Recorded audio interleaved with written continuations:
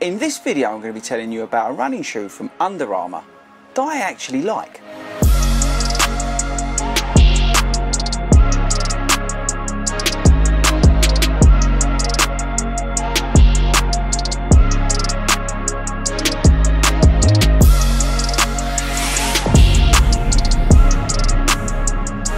What is up everybody and welcome to a very upbeat sort of Fordy Runs HQ because yes, we have found an Under Armour shoe that's not useless. Yeah, I've not been a big fan of Under Armour running shoes. Um, they tend to be uh, either overpriced or terrible, and they only give them to sort of people on Instagram uh, and that sort of thing. They're the only people who run in Under Armour shoes. But anyway, let's get the negativity out of the way because I've actually found an Under Armour running shoe that's actually all right. Okay, people, so here it is, the Velociti number three. Now, they used to call this, I think it was the Velociti Wind or something like that.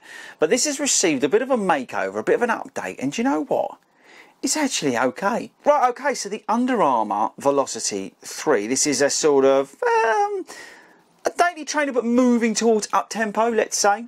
Um, it's a nice lightweight shoe. It's actually coming in at 9.3 ounces. It's 135 pounds. You've got the flow uh, midsole, which then goes down to the outsole. Let me get rid of that because of the lighting. You've got uh, a sort of flat knit upper that's mm, gusset your tongue, yes, but it feels very much a one-piece construction. Uh, plenty of foam around the heel to make it nice and comfortable. Uh, what's the stack height? No, the uh, drop on it. 8 mil drop. Uh, that's what I wanted to know. But yeah, overall, this is, a say, sort of daily training with a hint of sort of speedier stuff to it. So a good comparison, this would be the Novablast 3, Hoka Mach 5, that kind of shoe I would say. Uh, but it probably picks up some of the work from, you know, like even like a Pegasus 40, for example. Uh, but yeah, 9 point, was it, 9.3 ounces, which is 260 grams, which I think's kind of awesome. And it actually feels a bit lighter than that. Um, so yes, so where do we start? Let's do things I like about it in this quick review. So the things I like about it is the weight. I like the uh, feeling of the flow midsole. Uh, I really enjoy it in terms of comfort, but also responsiveness. It feels, um, and I think some of this is to do with the EVA uh, sock liner in the shoe. It just feels like, um, I wouldn't say responsive, but it just, it's got a nice balance of comfort and responsiveness. I think it works well with the upper, although the upper is one of the main downfalls. I'll come on to that. But it, it just works with the lockdown and the overall fit and feel of the shoe. It just feels comfortable and, and very easy to run in. It's a shoe that can pick up daily miles very easily, which I have found. The outsole's been fine. Um, again, I'm not doing a particularly good job with the lighting today, but the outsole's been fine. Uh, they've got no issues in terms of slip sliding around or anything like that. I think it actually looks all right as well, which is good.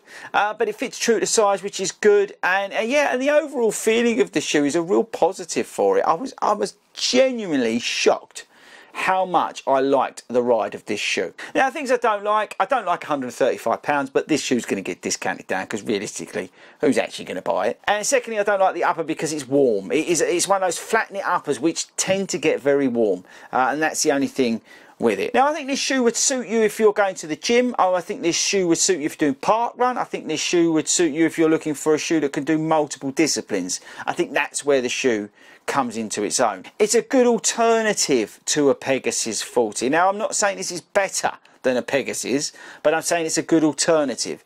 And it is a surprising shoe for Under Armour because, as I said, the rest of their shoes are terrible. And when I say terrible, I'm talking about the daily trainers and those sort of shoes. They don't uh, send me the uh, the racing shoes. I think they're too afraid of what I'd say about them. But I'm basing this on the daily trainers, things like that. The, the other shoes in the in the range aren't very good at all. But I really like this. I just think, in terms of simplicity, in terms of being able to do multiple things, like I said, treadmill, go out three miles, park run, six miles, 10k, whatever you want to do, I think this is a, shoe from Under Armour that actually hits the spot. So fair play to them and that's why I wanted to highlight it with this video because I give them a hard time. I actually think they've put a shoe together here with this updated flow midsole that's actually alright. So there we go. That's surprising, isn't it? You thought I'd hate on it, yeah? But no, it's actually all right, people. The, the, the Velociti 3 is not a bad daily trainer. It really is not. So again, it's that multifunction shoe. It's not an out-and-out -out running shoe, but it's not disappointing. It's not terrible. It doesn't feel dead. It doesn't feel like, you know, concrete under your feet. It feels all right and it feels like a running shoe and that I think is the important thing. So if you're a fan of Under Armour, you might want to pick them up. But yeah, there we go. Pleasantly surprised by the Velociti 3.